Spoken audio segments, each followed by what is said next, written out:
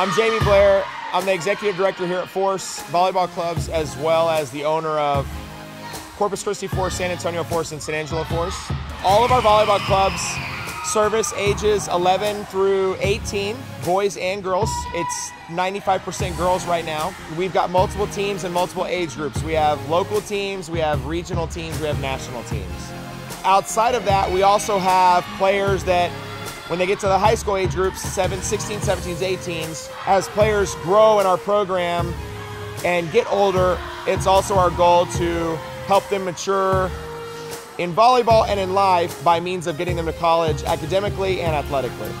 One of the things that we pride ourselves on is being able to develop the ultimate athlete and the ultimate young woman. As players start in our program, we encourage them to stay with our program all the way through because there are development barriers they will pass and reach as they grow from an 11 year old to an 18 year old that you wouldn't get by jumping back and forth between clubs and or playing for another club.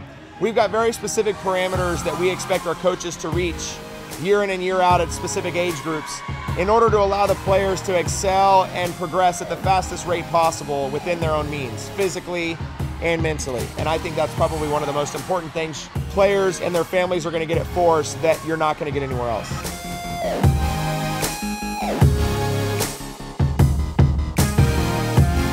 I'm Maddie Mackay. I'm graduating in 2018. I'm a middle blocker and I go to Smithson Valley. I absolutely think that my coaches here have given me the tools to go to the next level.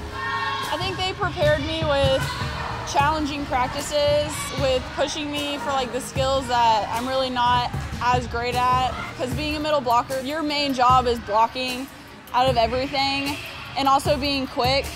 And I feel like all my coaches have really pushed that on me, even though blocking drills haven't been my favorite with the training that they put in and the hard work that they push us to do every single practice and just the basic techniques that you learn every single season i think has really prepared me to go to the next level Our coaching staff is by far one of the best in the country and one of the top five in the state.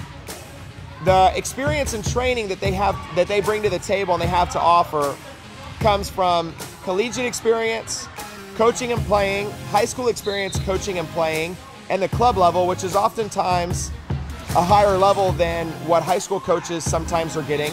The experienced players are going to get here is going to be one of development, one of progression, and one of succession. Players that are 18 years old with our club that graduate within our organization as a senior, we've succeeded in guaranteeing 98% of them an opportunity to play volleyball at the next level in a collegiate institution. Either whether it's a junior college, an NAIA school, or an NCAA school. And that percentage, while our organization is young in age at seven years, you're not going to find a better percentage anywhere else, much less in the city, but in the state.